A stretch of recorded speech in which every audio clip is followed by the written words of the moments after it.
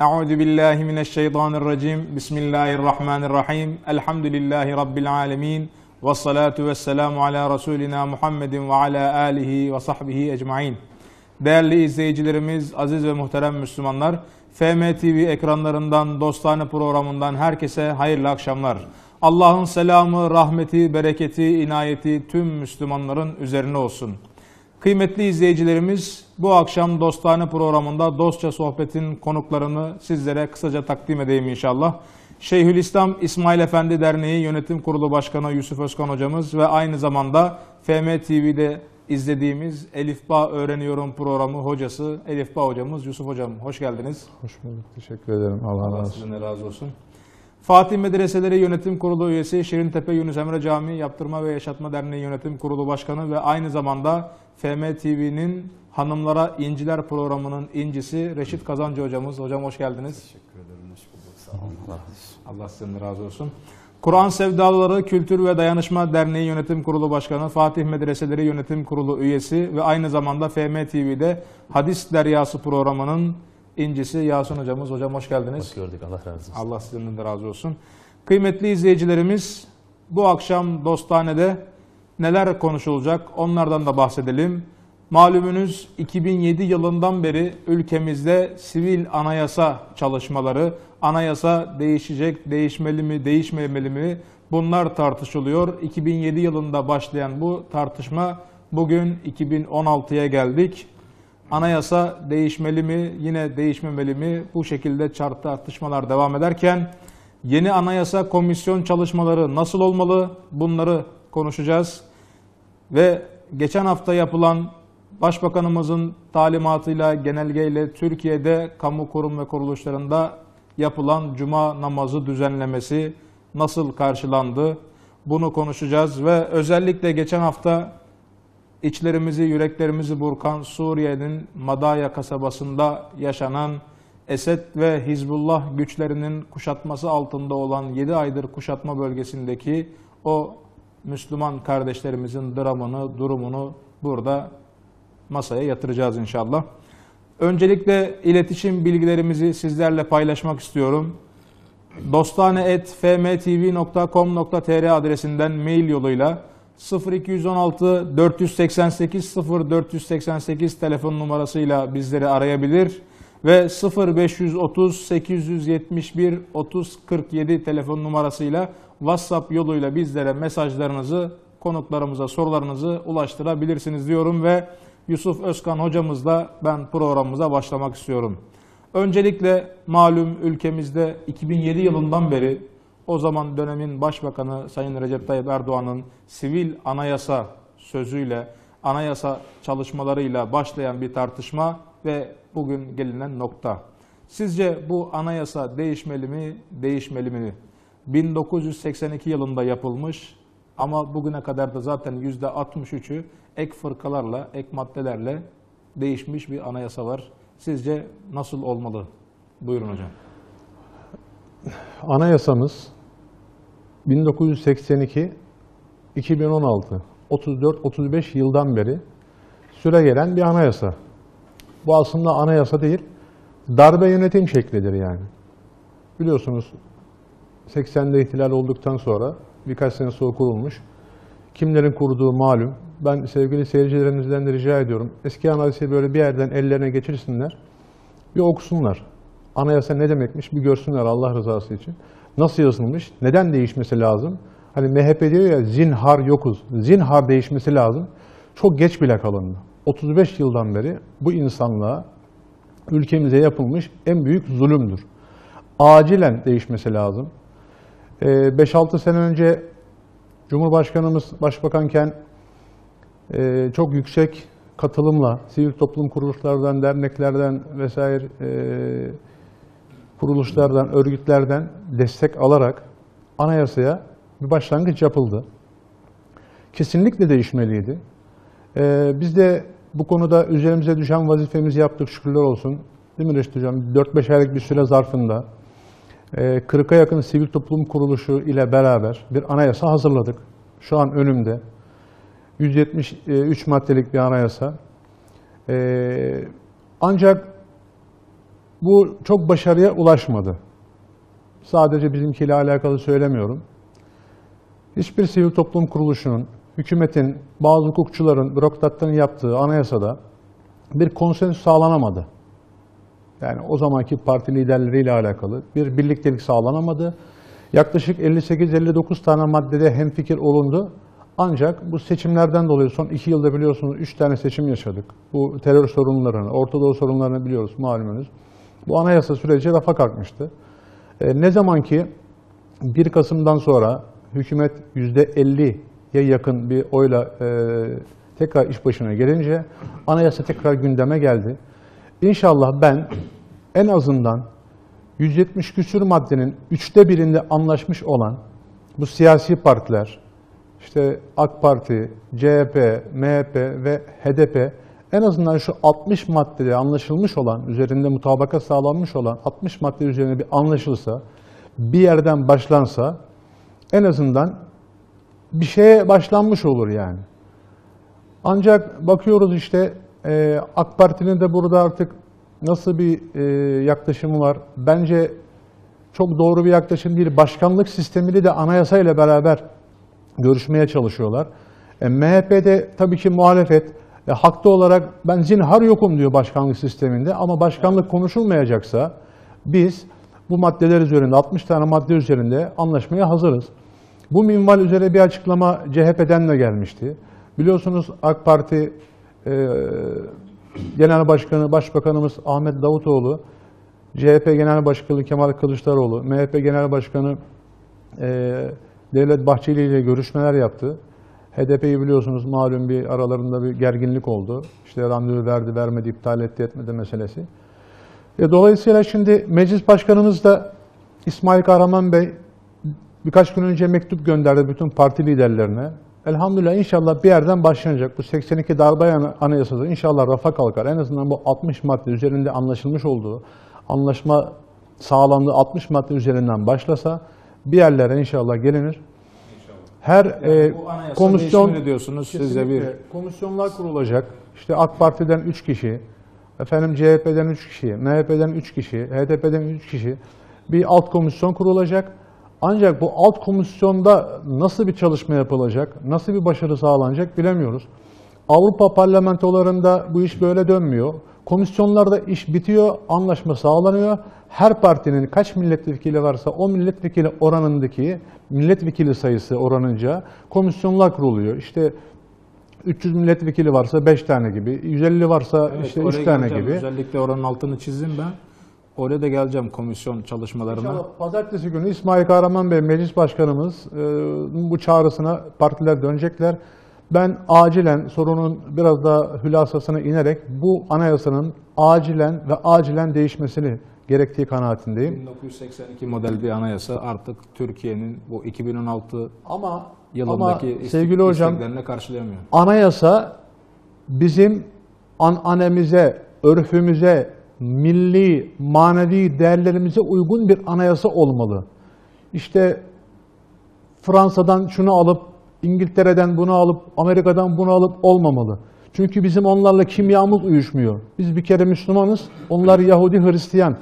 Hiçbir şekilde mesela bazı anayasamızın bazı maddeleri oradan alınmış, evlilik maddeleri oradan alınmış, eğitim Av- Avrupa'dan gelmiş, ekonomimiz, politikamız vesaire. Bunlarla bizim oradan aldığım maddelerle Türkiye'de uygulamaya kalktığın zaman bir uyuşmazlık oluyor, kan uyuşmazlığı oluyor. Dolayısıyla bizim idarecilerimizin çıkartacağı anayasa tamamen bizim öz, milli, manevi değerlerimize hizmet eden, sunan bir anayasa olmalı diye tavsiyede bulunalım buradan. Biz bu konuda Fatih Meclisi olarak tekrar anayasamızı biz bütün parti başkanlarına o zaman BDP'de o dahil olmak üzere gönderdik hepsine. Burhan Kuzu'dan tut da şahıslara bile görevli 5-6 tane hoca arkadaşımızla beraber gidilmişti. Biz kurum olarak tekrar bu anayasa çalışmasında elimizden ne geliyorsa kanımızın son damlasına kadar mücadele etmenin sözünü şimdiden vermiş olalım inşallah.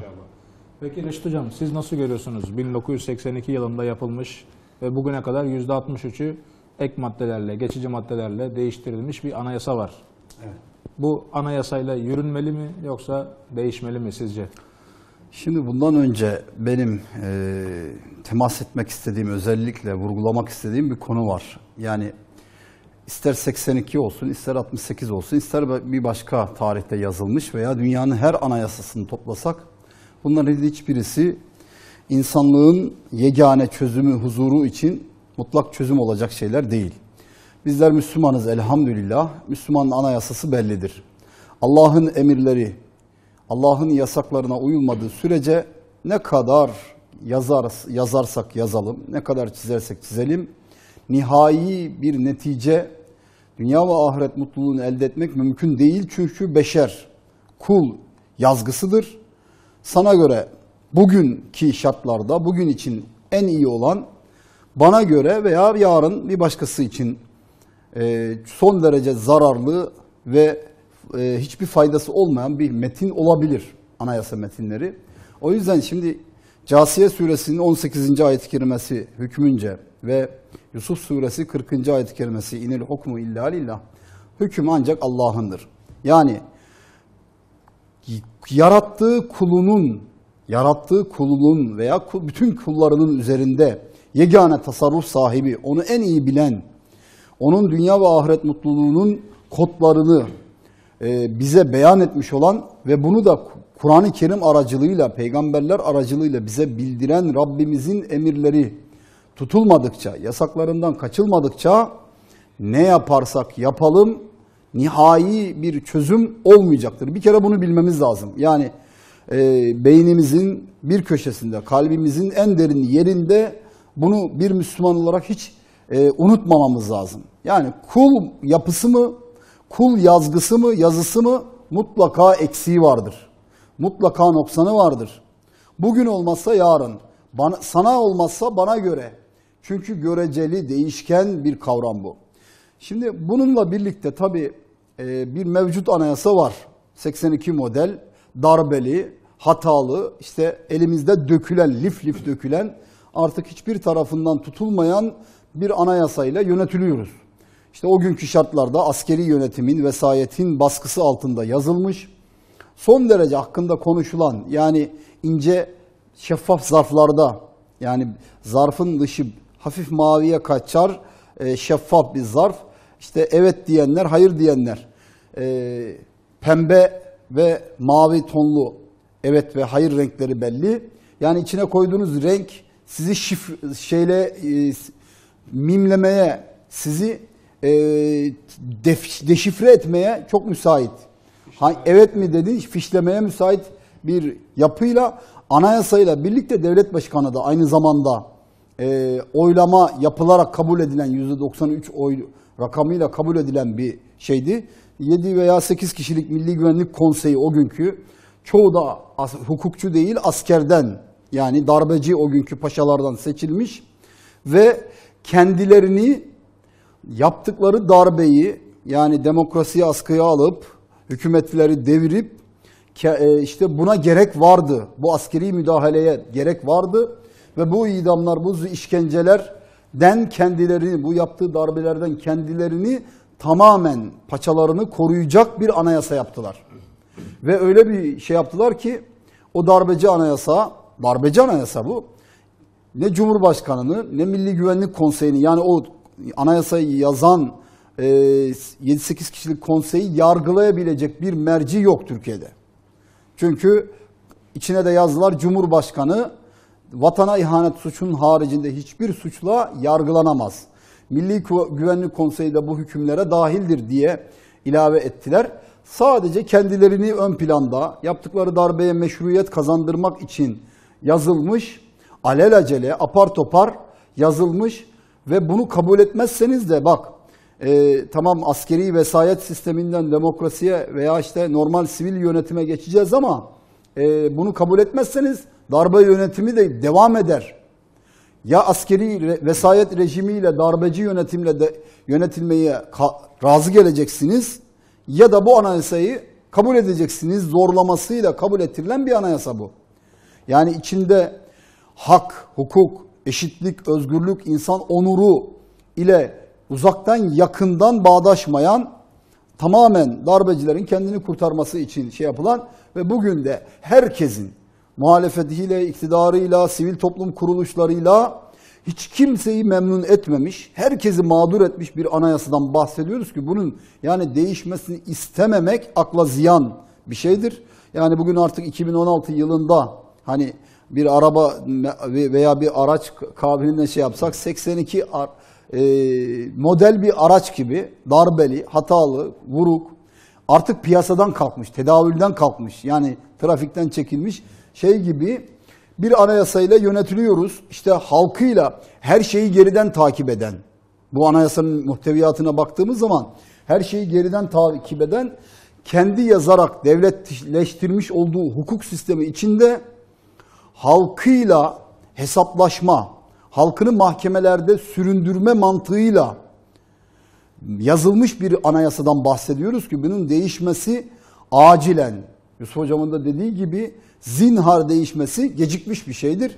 Ve bu konuda yani insanların yani mu- muhalefeti veya iktidarının bunu ayak sürçmesi, ondan sonra bunu hala ölüyü gösterip hastalığa razı etmesi veyahut da şöyle diyelim en mükemmeli elde etmek için işte bu elimizdeki mevcuda razı olma mantığına da bürünmenin hiçbir anlaşılır tarafı yok. Şimdi net bir ifade var. En mükemmel iyinin düşmanıdır demişler. Yani en mükemmele ulaşayım derken yani onun bir alt kademedeki bir düşük e, rütbedeki iyiyi elde edebilmeye engel olacaksa yani sırayla basıp adım adım basamak basamak ulaşılacak o mükemmeliyete çünkü kemalatın mükemmelliğin sonu yok. Öyle olunca ama biz bir anayasalım yaz, anayasa hazırlayalım ki en mükemmeli olsun, hiç değiştirilemez olsun, bir daha değiştirilmeyi gerektirmeyecek olsun. Ya yaz bir kere bir tane bir anayasa yaz da. Yani şundan bir kurtul. Prangalardan, işte kelepçelerden, zincirlerden kurtulacak şu anayasadan bir kurtul. Anlaştığınız 64-70 madde neyse onları bir onayla.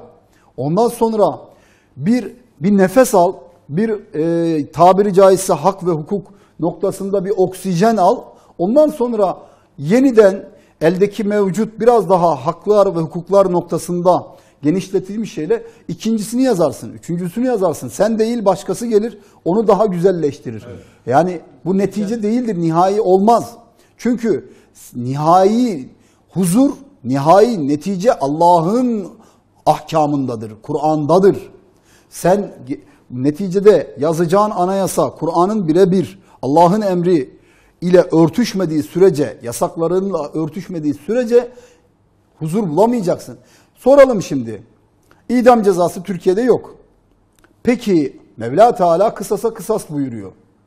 Öldüren katil öldürülür buyuruyor. Öldüren katilin masum bir canı, mazlum bir canı hiç yok yere, keyfi yere öldüren bir adamın yaşaması maktulün kendisine ha- haksızlıktır, yakınlarına haksızlıktır, hatta katile de haksızlıktır. Topluma da haksızlık. Topluma zaten Amerika'da topluma. var yani Katile nasıl haksızlık? Katil de eğer ben bir cana nasıl Allah'ın yarattığı cana kıyıp Allah'ın sahasına girdim. Yani uluhiyet sahasına adım attım. Allah'ın verdiği canı ancak Allah alabilir deyip tevbe edecek katilin o pişmanlıkla ebediyen yaşamasına sebep olacak bir e, sonuçsuzluğu içine itmiş oluyorsun. Halbuki o katilin kısasa kısasla cezasını çekmesi hem katile ahirete cezasının kalmaması açısından hem o maktulün yakınlarını açısından hem o katille beraber caniyle beraber yaşamak durumunda kalan toplumun huzuru ve sükûnu açısından son derece önemli. Ama sen bunu işte e, bir can gitmiş, canım ölen can gitmiş zaten yeni bir can daha gitmesin deyip ölene acımak yerine öldürene acırsan ki bugünkü hukuk mantığında bu geçerli. Yani can zaten gitmiş, bir can gitmiş, yenisini kaybetmeyelim. Ama o o yeni, o yeni yani hayatta olan başka canların da gitmesine sebep olacak bir katil ruhlu, cani ruhlu bir insansa artık toplumu kokuşturmaya, ifsad etmeye yönelik bir zararlı bir, muzır bir hale gelmişse el muzırri yuktelü, mecelle kaidesi. Zarar veren öldürülür. Bu işte hayvan olsa da insan olsa da fark etmez. Peki hocam şimdi bu anayasayla alakalı malumunuz Başbakan Davutoğlu Evet. 3 yani CHP'de olsun, MHP'de olsun görüşmeler yaptı. HDP'nin görüşmesini teröristlerle aynı masada oturamayız diyerek iptal etti. Biz de geçen hafta bu davranışını da buradan tebrik ettik ekranlardan. Ve Meclis Başkanı İsmail Kahraman Bey'le de görüştü. Ve Meclis Başkanı da geçen bir açıklaması vardı. Mektuplar gönderildi malum siyasi partilere. Anayasa çalışmaları için bir komisyon kurulmasına ve ziyaretler neticesinde hem AK Parti sözcülerinden hem muhalefetin parti sözcülerinden 3 partiden de bu sefer tamam biz de bu anayasa değişmesini istiyoruz. Bu anayasa değişmeli diye bir ortak hem fikir. Başkanlık sistemine hayır ama anayasa değişikliğine olumlu yanıt vererek bir komisyon kurulmasına ve bu çalışmayı da Meclis Başkanı bizzat İsmail Kahraman Bey'in kontrolünde onun kuracağı alt kurulla bir çalışmaya başlanacak. Eskisi gibi, önceki gibi. Bir önceki dönemde olduğu gibi. Malum burada ben Yasin hocamıza da şeyi sormak istiyorum. Bu anayasa değişecek. Zaten Yusuf hocamız biraz değindi, Reşit hocamız da değindi. Ama bu anayasa nasıl olmalı? Yeni bir anayasa olacaksa sizce Türkiye'de yeni bir anayasa nasıl olmalı? Bunu da izleyicilerimize buradan paylaşalım. Evet. Aslında hakikaten bu konu ancak bu kadar güzel anlatılabilirdi yani. Allah razı olsun Yusuf hocamdan, Reşit hocamdan. Zahiri ve batını ölçülerde en güzel şekilde önümüze koydular, sundular bizlere. Bakıldığı zaman hiçbir şekilde kendi örfümüzü, adetlerimizi kesinlikle içine almayan bir anayasa ve 82 yılından beri gelen anayasa ve ikincisinde Rahman'ın razı olmadığı kurallar dairesinde olan bir anayasayla gerçekten de karşı karşıyayız. Dediği gibi hocamızın da anlattığı ölüm kıssası ki insan kendine aldığı zaman bunu yani Efendi Hazretlerimizin bir kıssası vardır. Yani Efendi Hazretlerimiz o anda hırsızlık yapan kişinin eli kesilir diyerekten sohbette verirken bir tane adam içinden geçiyor. Ya böyle bir şey mi olur bu zamanda derken dışarıya çıkıyor bakıyor ki çok güzel bir arabası çalınmış o anda. Arabası çalınınca bu sefer öyle sinirleniyor ki bulursan ne yaparsın diyorlar adamın kafasını keserim diyor. Hakikaten de insan kendisine aldığı zaman gerçekten de aslında Rah- Rahman'ın ne kadar merhametli olduğunu, şeriatın sadece merhametin olduğunu anlayacaktır. Bizler tabii ki de bunun değişmesini katiyen istiyoruz zaten ama ben şurada şu iki konuya özellikle söylemek istiyorum. Hocalarım zaten gerekeni söylediler. Birincisi hakikaten hocam anayasamızı, kendi kurallarımızı kendimiz okuyunca anlamamız lazım birincisi. Bizler de beraber 6 ay süre boyunca STK'larla beraber değil mi anayasayı çözerken öyle çözülmeyecek kelimeler vesaireler var ki hani sen insanlara desen ki şu zarar yasak senin anayasana göre inanın insanlar da bilmiyorlar. Veyahut da şunda fayda var, yarar var onu da bilmiyorlar. Birincisi avam insanların anlayacağı şekilde kadar indirilmesi lazım ki şu anda insanlara çıksak desek hocam gerçekten de herkes de değiştirilsin diyor. İkincisi de hocam anayasamızla alakalı ve Türkiye genel şartlarında bizim mekanizmamız hocam çok ağır bir mekanizmamız var. Ya bir şey dediğiniz gibi bakın 10 sene sürdü. Bir 10 sene daha mı geçecek onu da bilmiyoruz. Veyahut da yarın mı olacak onu da bilmiyoruz. Ama Amerika'da e, şöyle bir randevu veriliyor. Bizim kendi bakanlarımızdan birisi gittiği zaman bakanlarımızdan birisi randevu istediği zaman oradaki bakanlarla beraber sabah saat 6'da randevu veriliyor. Tabii herkes şaşırıyor. Bir anda sabah 6'da için tabii erken kalkması lazım. 8'de toplantı bitiyor ama önünde kocaman bir gün var. Ama gel Türkiye Türkiye'yi alalım. Türkiye'de saat 11'de veriyorlar randevuyu. 11'de geldikten sonra hoş 5 derken zaten 2'de bitiyor. 2'den sonra da gün kalmıyor gerçekten de. Hocam iki tane hakikaten de anayasayla alakalı da böyle bir şey de ben söylemiş olayım. Ama ben hocalarıma her türlü gerçekten de yine burada takdir ediyorum, teşekkür ediyorum ama anayasanın içeriğiyle alakalı da hocamızın ben bir e, olayını, güzelliğini şöyle anlatmak istiyorum. Kendi Masum hocamızın bir ara Risale dersinde de vardı. Allah Celle Celaluhu sistemi koymuştur beraberinde. Kuralları da koymuştur. Bu insanın aklına da, mantığına da her şeyin aslında uygundur. Ve insanın fıtratından da bu gelir. E, nasıl bunu anlayacak insan? Kendine hemen vicdanına soracak. Vicdanla beraber bunu çözebileceğini görecek zaten kendi kendine. Aslında insanın vicdanında da bu yasalar var, bu güzellikler var biiznillah. E, bu kuralları olmadığı, yaşamadığımız müddetçe de hakikaten de her daim kafamızı vuracağız. Aa bu niye oldu demeyeceğiz. Çünkü Allah Celle Celaluhu bunu böyle buyurmuş. Bunu böyle yapmamız lazım olduğunu söylemiş. Bunu zaten Kur'an-ı Kerim öyle bir e, dil ki hem evrensel hem de en avam insanın anlayacağı derecede şükürler olsun. Ama bizim anayasalarımızda bu zorluk da var, bu sıkıntı da var. İnşallah Rahman Allah Celle Celaluhu'nun en yarattığı mükemmel bir fabrikayız biz şu anda tabiri caizse. O fabrikanın da sahibi bu fabrikanın nasıl yaratılacağını biliyor. Onun anayasasından illaki onu direkt koy da demiyor sana. Tam koyma ama şu zamandaki olayları Kur'an-ı Kerim'e uyarlayarak, hadis-i şeriflere uyarlayarak bir daha ne yap hocam gözden geçir yani. Bizler ki zaten 173 tane maddeyi de öyle zaten yapmıştık. Her şeyi ne yapmıştık hocam hatırlarsanız? Kur'an-ı Kerim'e uygun hale dönüştürmüştük. allah Teala'nın izin verdiği müsaade, Peygamber Efendimiz'e razı olduğu sürece ne yapmıştık onu çevirmiştik Ben diye. burada şunu ilave etmek istiyorum. Yani anayasa nasıl olmalı derken eee, şimdi ne yaparsak yapalım demin de dedik. Bütün kainattaki bütün insanlar bir araya gelse ve hayatları boyunca anayasa yapmak için ve topluca bütün insanlığın huzuruna, refahına, rahatına yönelik en mükemmel anayasayı yapacağız deseler ve hep beraber bir ortak konsensüsle bir anayasa yapsalar, yapacakları anayasa veya o yazdıkları, ulaştıkları metin en son eğer ki gerçekten insanlığa huzur getiriyorsa Allah'ımızın beyan etmiş olduğu Kur'an-ı Kerim'deki emir ve nehirlerdir. Yasaklar ve helal, helal ve haramlardır. Eğer ki bununla birebir tıpkısı tıpkısına aynısı aynısını örtüşmüyorsa gene problem çıkacak demektir. Nihai çözüm değil demektir. Ama bununla birlikte şimdi yaşamak için e, tabii bir katkı olsun diye bir anayasa çalışması yapılıyor. E, neticede insanlar burada şey yapılıyor. Bir adım dedik ya deminki gibi. Burada e, yapılacak şey şu. Yaşamak için gerekli organlarla donatılmış bir insana işte senin bu organlarla yaşaman yaşamana hak verdik demek özgürlük değildir. Yani sana şimdi Allah'ın verdiği eli kullanma hakkını veriyorum. Gözü gözüyle görme hakkını veriyorum demek adama özgürlük bahşetmek değil. Yani bu zaten insan olmanın bir gereği. İnsan bütün varlığıyla, organıyla, her şeyiyle birlikte Allah'ın dokunulmaz kıldığı ve yaşam hakkıyla, can hakkıyla doğduğu bir varlıktır. Ve insan e, yanakları kızara, kızaran bir varlıktır. Onurludur. Toplum içinde kabul görmek ister, takdir görmek ister. E, bu insanı Mevla Teala en keremli yarattık diyor. Velakat kerramna beni Adem. Adem oğlunu biz en keremli, en güzel kıvamda tak, e, e, yarattık diyor. Şimdi bu insana karşı böyle yaratılmış bir insana tutup da toplum mühendisliği yapmak, ondan sonra toplumu bir e, yumuşak bir hamur gibi katılaşmamış, sertleşmemiş hamur gibi istediğimiz şekle kıvama getiririz, istediğimiz biçimi veririz.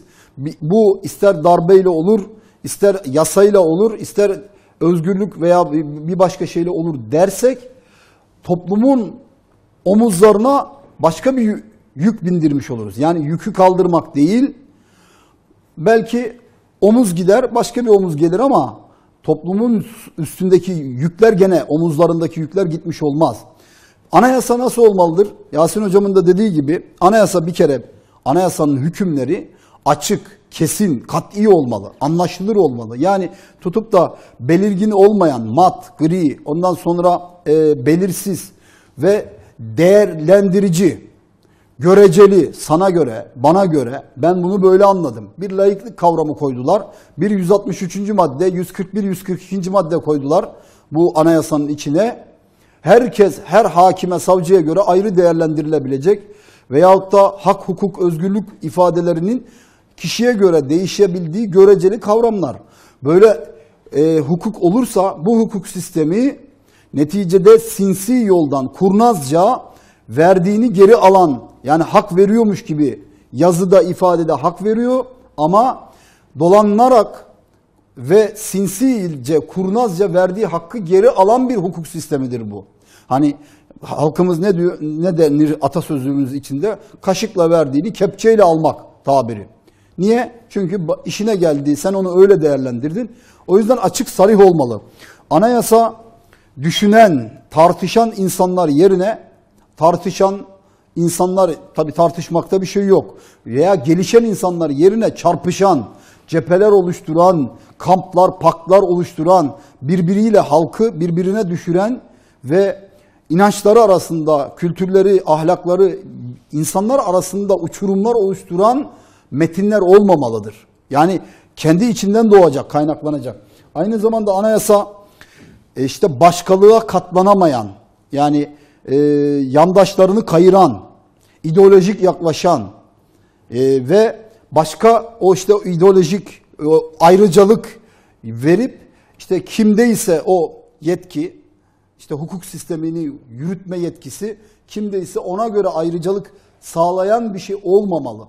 Aynı zamanda çağını izleyen de değil. Yani bu çağda bakalım dünyada ne oluyor, Türkiye'de ne oluyor çağını izleyen değil, çağında başkaları tarafından izlenen bir anayasa olmalı. Bak Türkiye'nin bir hukuk sistemi var ki, bir anayasası var ki hepimize örnek olmalı. Yani herkese yeter olmalı denilecek bir e, özgürlük alanları açmalı. Hak hukuk alanı açmalı. Aynı zamanda anayasa e, öyle olmalı ki halkıyla mahkemelerde halkını süründürmek, sürtüşmek, halkıyla böyle inanç değerleriyle, ahlaki değerler, milli manevi değerler, değerleriyle kavga etmek zorunda olmamalı. Ya niye? İçinden alsana bu, bu millet. Aynı zamanda şunu da bizim tabii ki İsviçre'den almışız, işte İtalyan ceza hukukundan almışız falan. Ee, başka Avrupa ülkelerinden almışız ama bir tanemiz akıl edemedi mi ki ya bu ülke 600 sene bütün İslam alemine liderlik yapmış. İslam alemi derken dünyanın dörtte üçüne liderlik yapmış.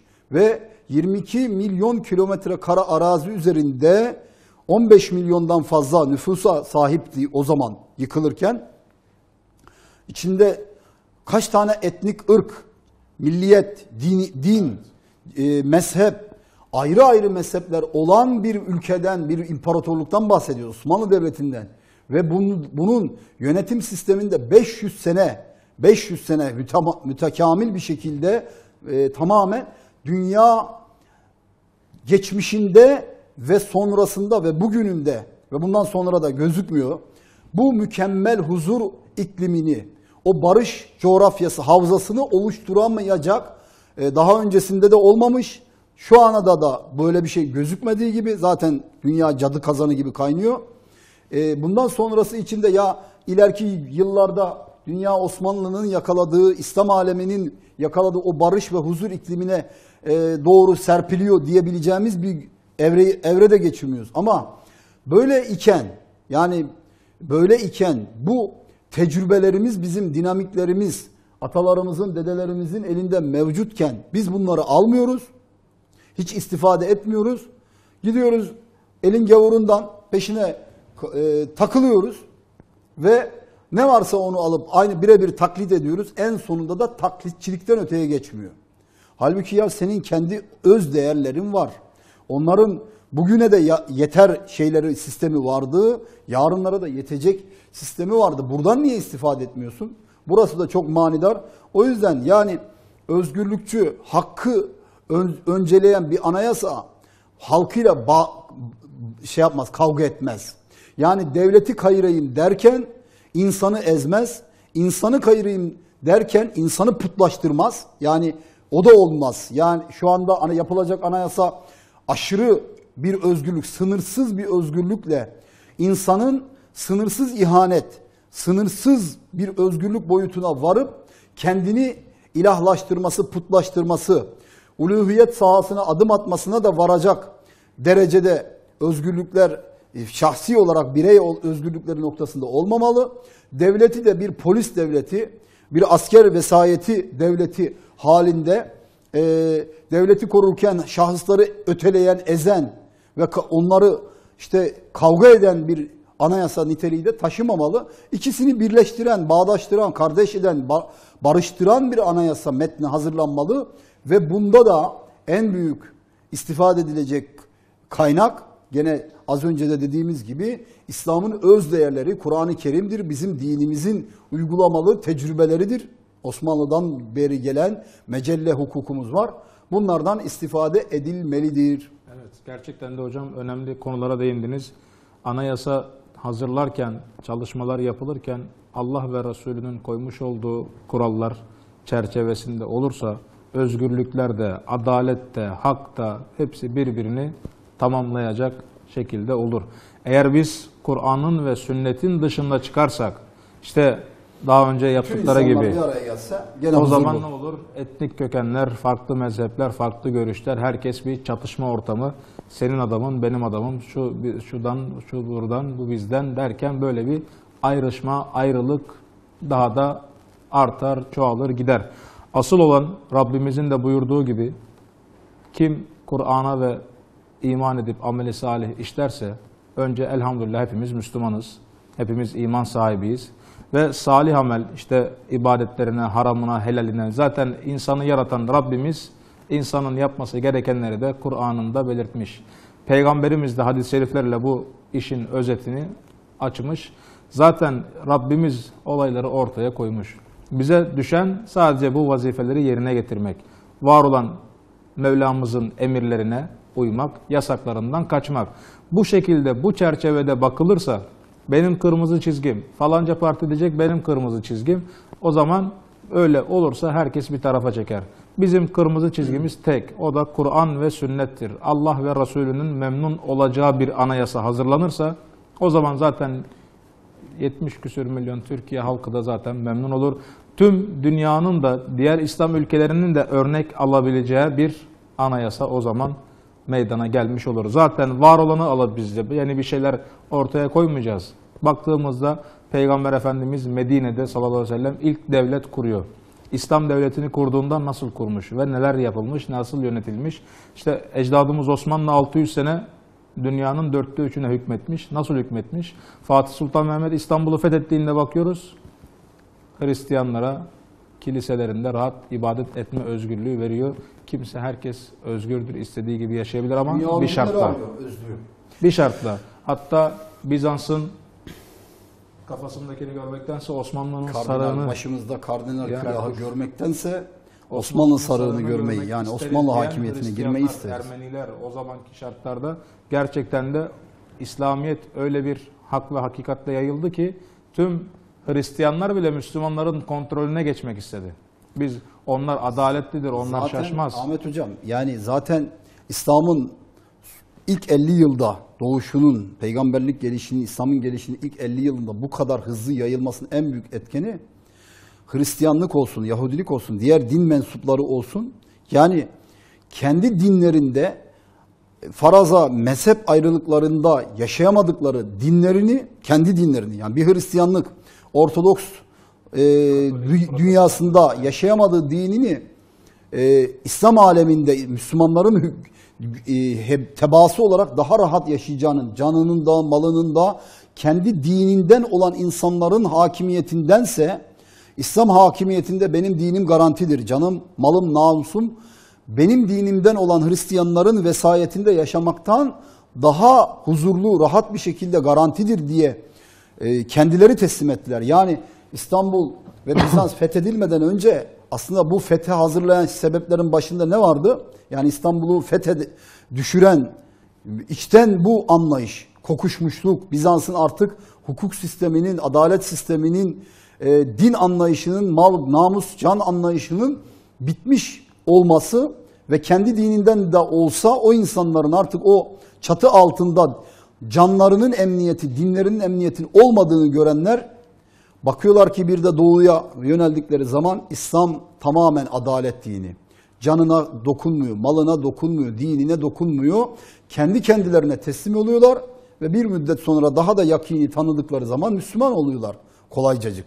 Yani dünyanın İslamlaşmasındaki en büyük etken İslam'ın adaletini o insanların görmesiydi. Hocam Yani hülasa hocam, birlikte. hemen bir gireyim, devam edelim gene.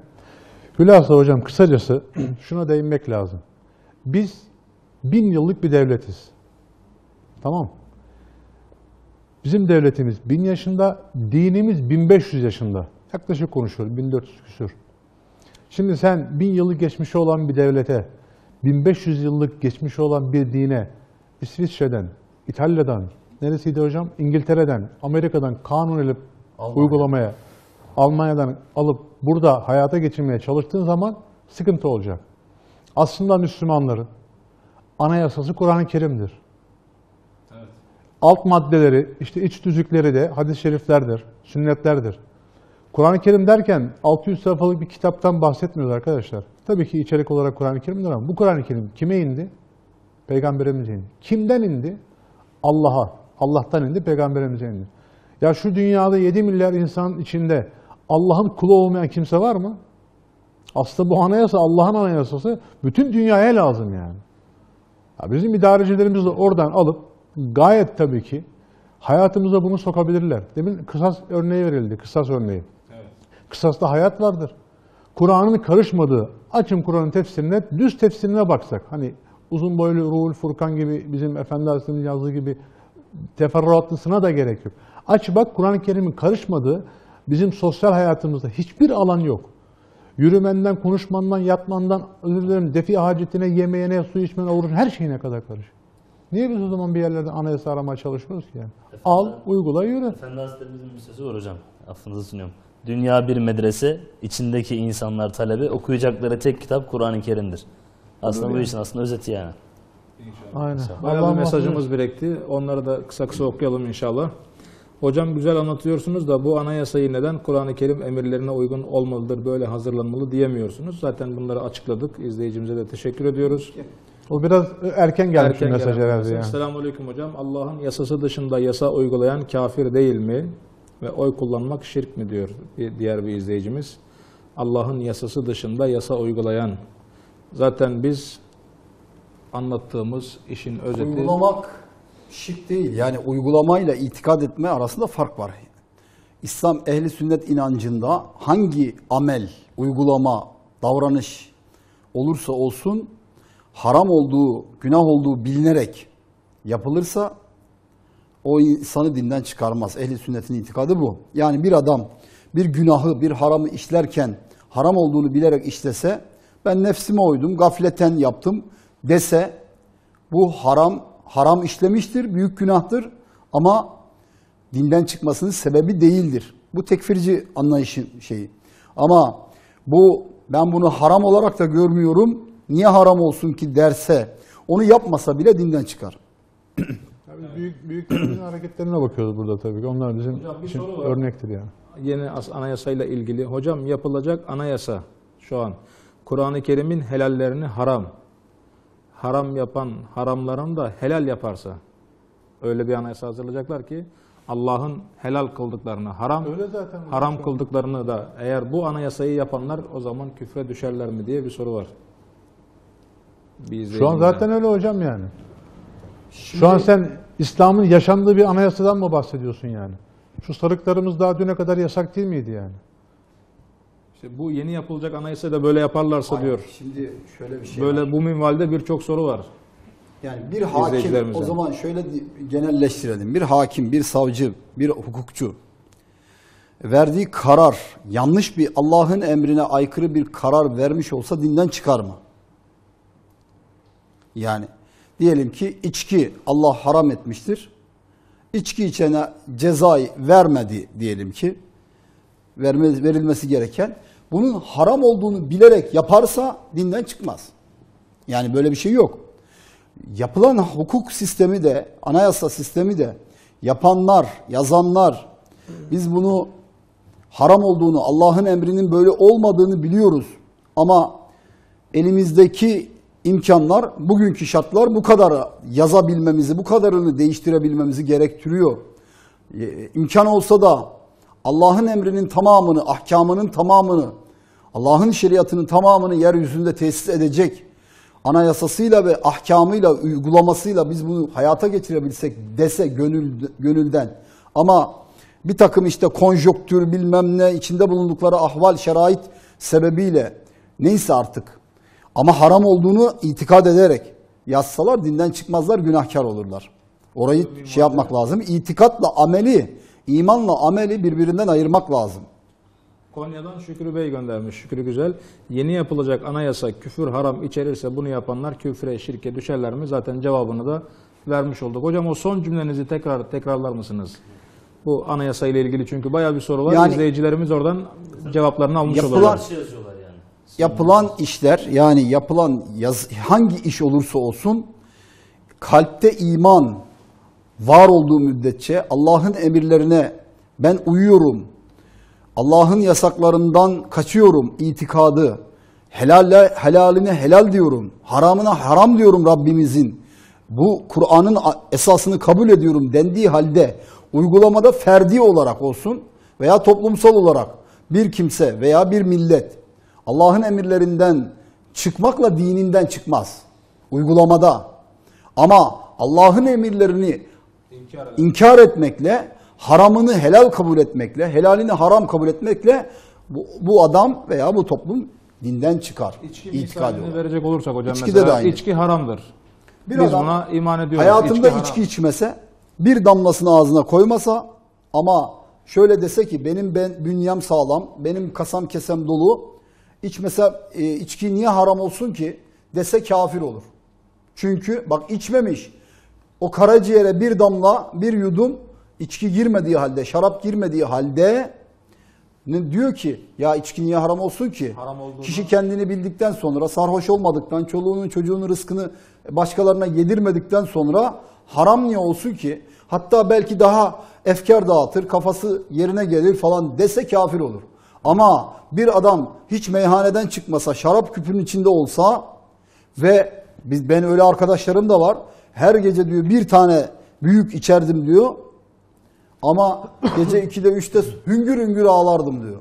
Annem ağlardı diyor. Ben de kalkar ayıldığım zaman niye Allah'ıma karşı Rabbimin emrine isyan ettim diye ağlardım diyor. Haram olduğunu bilerek ama bağımlı olmuş, alışmış. Onu nefsine anlatamıyor. Nefsine söz geçiremiyor. Böyle bir adam o halde dinden çıkmaz. Niye? Haram olduğunu bildiği halde ben nefsime mağlup oluyorum. Ya Rabbi affet de diye Haram bunu yapar. Şimdi etmiyor. burayı ayırmak lazım. İmanla ameli karıştırmadan şey yapmak lazım. Güzel bir cevap oldu. İzleyicilerimize de çünkü bayağı bir mesaj var bu konuda. Evet hocam burada yönetmenimiz de uyarıyor. Kısa bir ara verelim inşallah. Değerli izleyicilerimiz kısa bir reklam aramız olacak. Reklamlardan sonra kaldığımız yerden devam edeceğiz. Bizi izlemeye devam edin.